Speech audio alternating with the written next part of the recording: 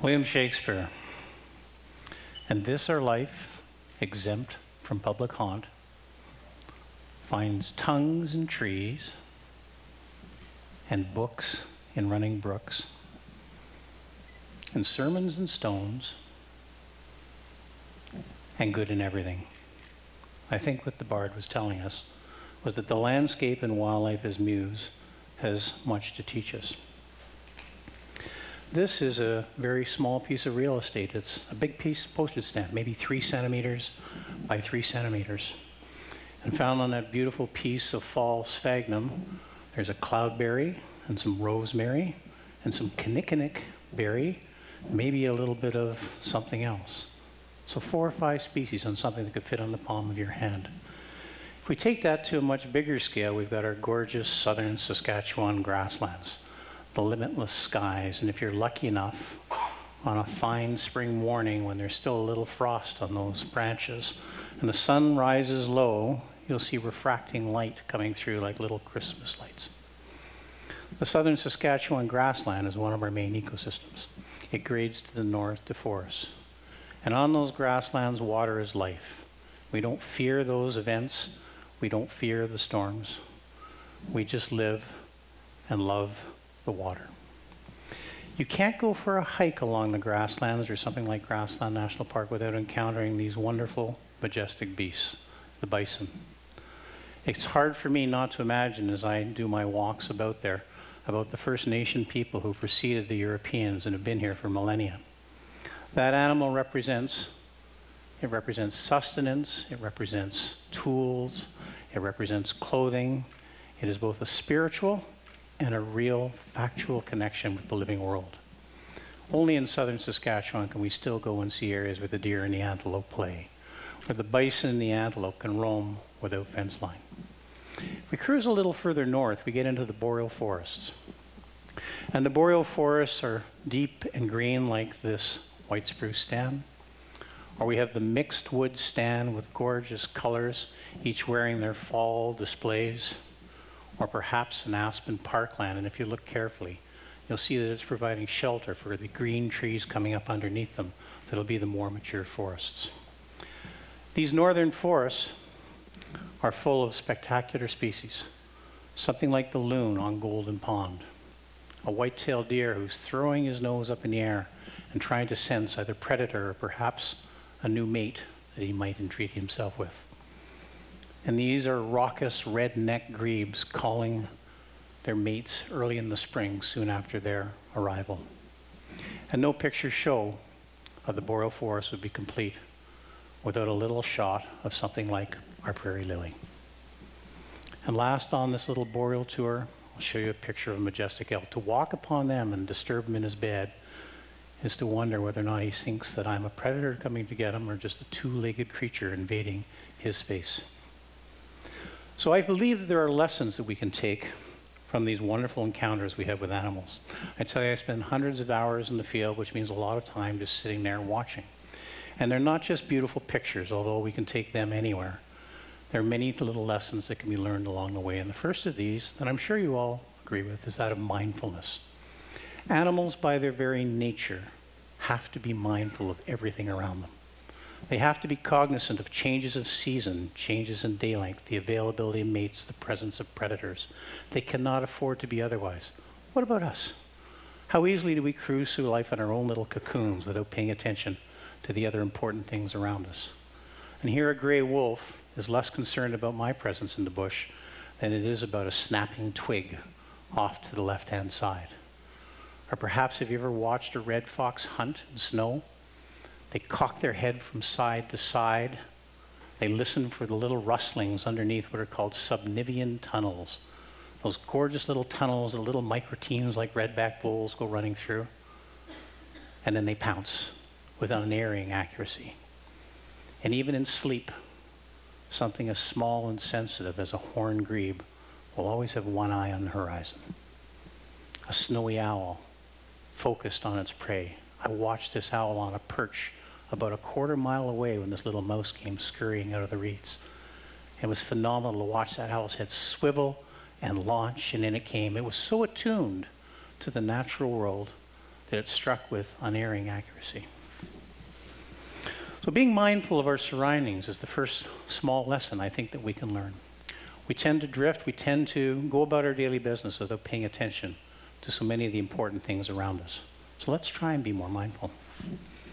The second of these I'm going to, to talk about is what biologists like to call the trophic structure of life. Big words, not really all that important. But you all remember probably from your high school that we have a big broad base with lots of green stuff. We call those photosynthetic organisms. They're plants, they have chlorophyll. They're able to suck up carbon dioxide, breathe out oxygen. And in the process, using sunlight as an energy source, they're able to produce green stuff, sugars and starches and cellulose and lignins that can be eaten by the rest of the organisms in the ecosystem. So at the base of all our ecosystems is this huge and fundamental base that we call the, the autotrophic layer. As you jump up a layer, we move into another important group of organisms called the herbivores. And here are some larch sawflies devouring a beautiful little larch tree, a young larch tree.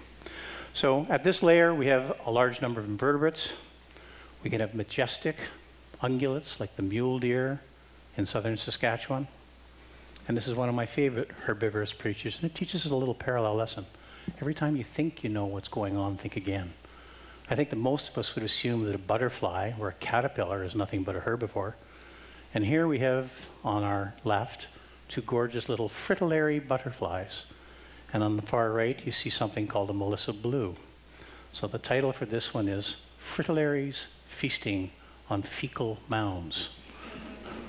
So the next time a butterfly comes and perches on your finger, the end of your nose, you might want to consider a handy wipe.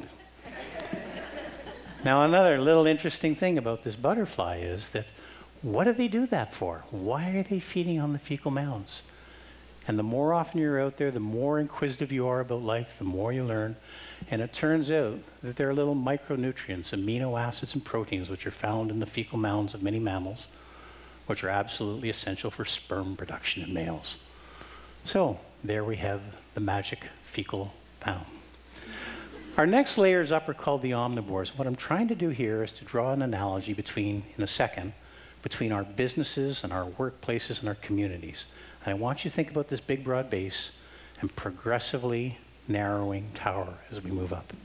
So the omnivores, and I use that word carefully because most of them cannot afford to be just one species. They have to be very broad in what they're doing.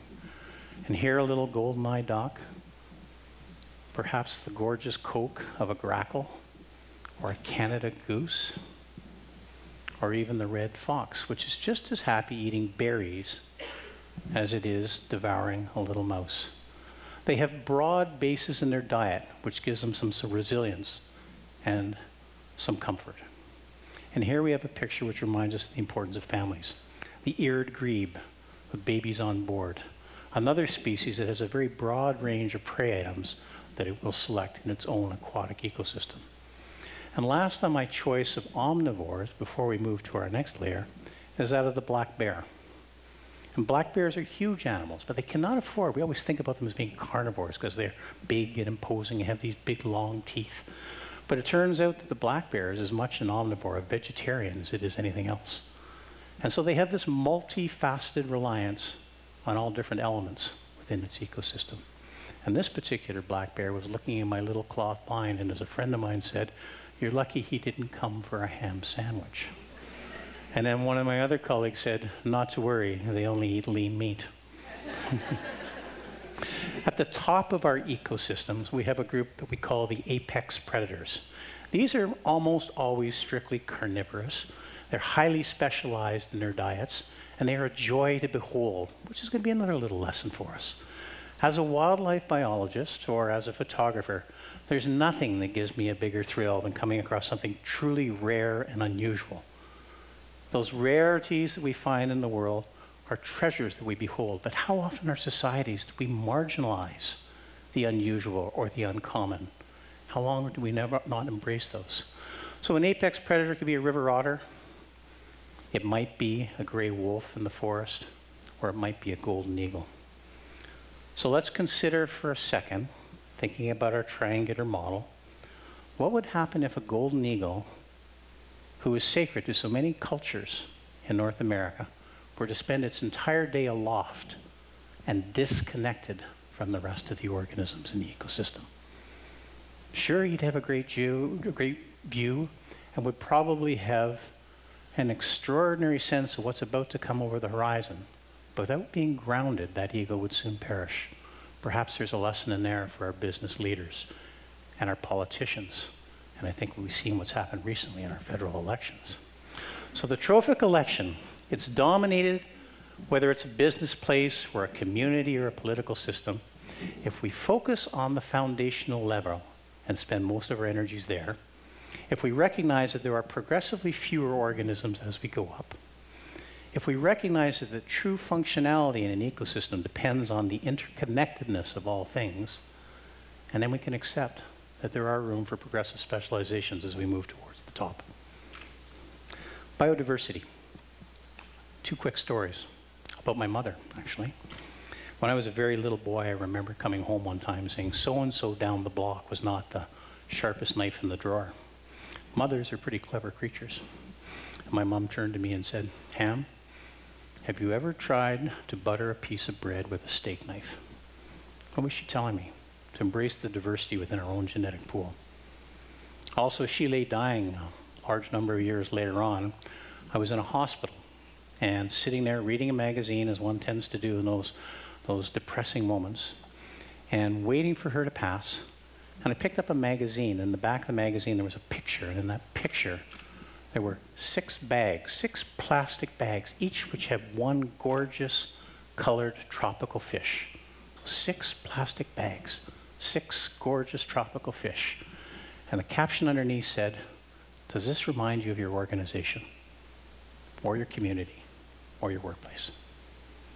What do we do? So I made it kind of a mission 15 years ago to do my best to break the bags, to bring diversity alive, and to try and teach it in our classrooms, and hopefully periodically to be given the opportunity to share things like that in lectures with people like you. Biodiversity is absolutely essential in an ecosystem. Wherever we have biodiversity, it leads to increased stability and increased resilience and increased interconnectedness. And as I mentioned earlier, biodiversity is where rarity is treasured, it's valued, it's measured, it's the thing we take care of as biologists. And can't we do a better job as human beings about taking care of the marginalized people in our society? Managing change, perhaps another little lesson. Life is not kind and it's not always predictable. Uh, things like a forest fire can come through and radically alter an ecosystem. A flood might do the same. Uh, pestilence in the forest, uh, insect infestations, any one of these things can dramatically alter a landscape. Just like in our lives, change can happen unpredictably and throw things on its ear. But if you're patient and you let it work its course, usually what happens after a catastrophic event is a rebirth, it's a renewal. There are young, better, smarter animals that come in. They form their homes, and we go through a whole other cycle of succession. And we start to accept that as part and parcel of life. Some of these agents of succession can be created by animals, and an animal that comes to mind immediately is the beaver. And in those cases, the beaver creates this wonderful mosaic in the forest from which all other animals can thrive. So this now leads to my topic I'm going to talk about keystone species. The wolves in Yellowstone National Park have completely changed the ecosystem down there. Wolves were absent for over 100 years. And recently they acquired some packs from Canada and reintroduced them.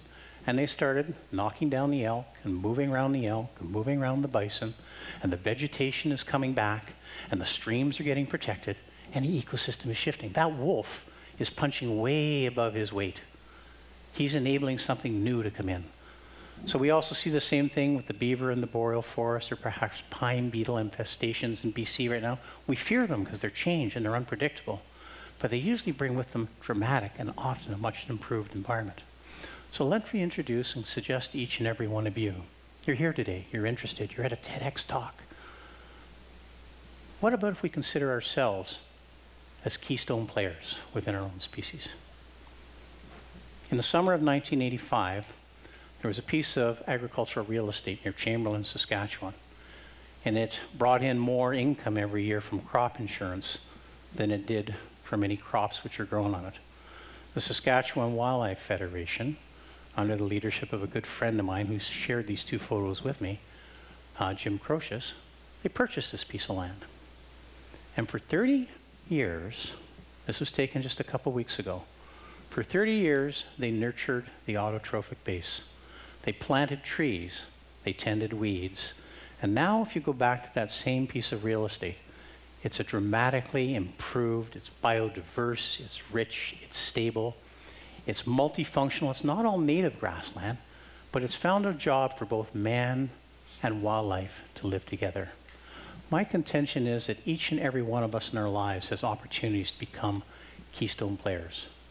By the conscientious effort, directed usually at the autotrophic base, the things that we support, in my case, it's students at our institute, focus on them consistently over a long period of time, and you can see dramatic improvements in your own communities.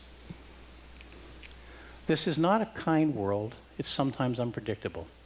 But species like the white-tailed deer have shown their resilience and their toughness to adverse weather conditions.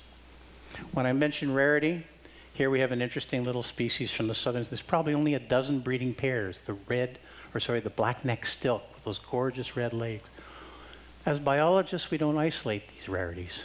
We bring them into the fold and we manage them and we provide habitat for them and we nurture them with the hopes that they will find an increasingly more important part in the systems in which you work. Can we do better with people? We embrace diversity and competition as biologists. Here are two diving ducks, a redhead duck and a ringneck duck, competing over a common piece of pond. Diversity is part of life, as is competition. Let's embrace it. And let's see where it can lead us so that we each become particularly good at our own walks of life. Let us never forget to take care of our offspring, for they are the very foundation of the next generation. And you can spend hundreds of hours out there watching, and it's extraordinary the importance of parental care and nurturing and nest selection. Where are you going to build your nest? Where are we going to build our homes? What is the infrastructure going to be like? They're critically important for success. And this, as we move forward in life, these are two water striders sitting on an eddy on a fast moving stream. And if you look really carefully, you might be able to see that they're, they're mating right now. This is a triple X show, folks. but they're causing an impression on their environment. They're not destroying it. Their presence is being felt. They're treading lightly on their living environment, but clearly they're making an impression on that environment as well as purportedly themselves.